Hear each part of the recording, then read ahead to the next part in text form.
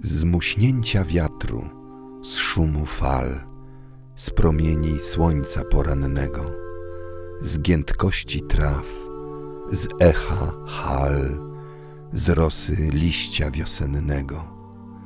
Narodziła się cnota, narodziła się podnieta, narodziła się istota, narodziła się.